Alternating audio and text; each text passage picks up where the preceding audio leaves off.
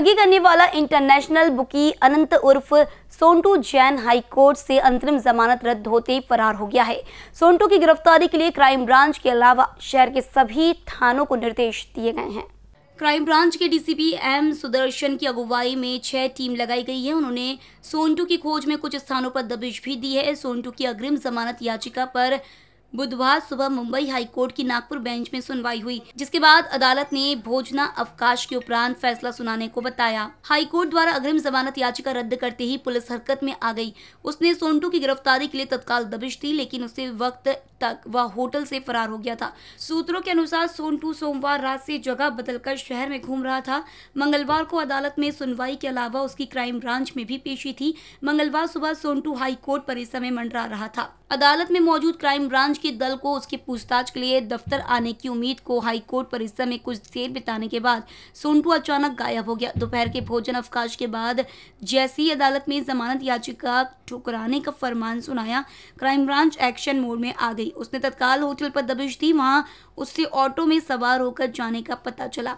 CCTV footage में उसके hotel से रवाना होने के बाद कुछ दूरी पर देखिए, ये ऑनलाइन गेमिंग जो ये केस है, ये अत्यंत गंभीर केस है, जिसमें कि एक फिरियादी को डॉक्टर्ड गेमिंग ऐप के द्वारा एक लिंक प्रोवाइड करके उसको ये डॉक्टर्ड ऐप मतलब जिसकी एंड रिज़ल्ट जो पैसा फिरियादी लगा रहा था, उसकी एंड रिज़ल्ट आरोपी के द्वारा जो सिस्टम लगाई गई थी, उसमें वो सिस्टम उसको कंट्रोल कर रहा था। ये डॉक्टर्ड ऐप था और इसके द्वारा फिरियादी को बहुत बड़े पैमाने पे उसकी लॉस हुई थी। इसके बारे में एफआईआर दाखिल की गई थी। एफआईआर दाखिल होने के बाद जब आरोपी की घर झड़ती ली गई थी तो बहुत बड़े पैमाने पे कैश और सोना अंदाजन 25 करोड़ के आसपास रकम और गोल्ड सीज हुआ था। लॉकर्स की झड़ती में और 6 से 7 करोड़ रुपए की कैश और गोल्ड सिल्वर इस प्रकार के की जब्ती की गई थी। आरोपी दुबई चला गया था और इस केस में बहुत दिन तक फरार था। उसको एड जमानत मिली थी। उसके बाद वो कोर्ट के आदेश के हिसाब से वो ऑल्टरनेट डे पुलिस के पास हाजिर होता था। तपास यंत्रणा ने जो उसके पास जो भी वो कुछ दिन हाजिर हुआ, उसमें विचार पूछ के दरमियान टोटल नॉन कोऑपरेशन उसका था।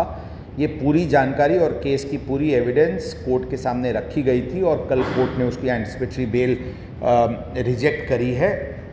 उसके बाद उसको चूँकि एड इंटरिम प्रोटेक्शन था आ, ये फाइनल उसकी एंटिसिपेटरी बेल रिजेक्ट होने के बाद वो फरार है। पुलिस टीम्स गठित की गई है और उसको जल्दी से जल्दी अरेस्ट करने के लिए हम आ, हम प्रयत्नशील हैं। इस केस में जो ये पूरी जो ये लिंक है, ये इस्टेब्लिश की गई है और बहुत ही ऑर्गेनाइज तरीके से ये पूरी प्रकरण चलाई जा रही थी। इसमें जो ऑनलाइन ट्रांजैक्शंस हुई है, वो एक टेनेंसी अकाउंट्स हम बोल सकते हैं। किसी की, कुछ लोगों की अकाउंट्स खोल के उस पर उसमें पैसे की ट्रांजैक्शन करना और उसके बाद वो पैसा फाइनली आरोपी के तक पहुँचना और इन प्रकार के जिसकी अकाउंट्स हैं, उनको सिर्फ़ एक परसेंटेज देना इस प्रकार की बात सामने आई है। जो कैश ट्रांजैक्शंस हुए हैं, वो बहुत बड़े पैमाने पे पैरेलल हवाला ट्रांजैक्शन के द्वारा हुए हैं और वो भी ट्रांजैक्शंस की काफ़ी सारी एविडेंस पुलिस के पास लगी है।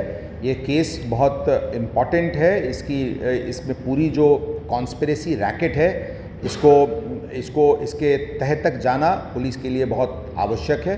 और हम बहुत गंभीरता से इस प्रकरण को ले रहे हैं और इसमें जो भी लॉजिकल कंक्लूजन तक इस केस को ले जाना है उसके लिए हम पूरी तरीके से प्रयत्नशील देखिए इसके बारे में अभी आ, कोई भी टिप्पणी करना योग्य नहीं है। मैं इतना ही बताना चाहूँगा कि इसमें ये जो आरोपी है ये एक आ, इसका इस पूरे रैकेट का एक पिलर है। बट इस पिलर के आगे और भी काफ़ी लोग जुड़े हुए हैं वो बात सामने आ रही है।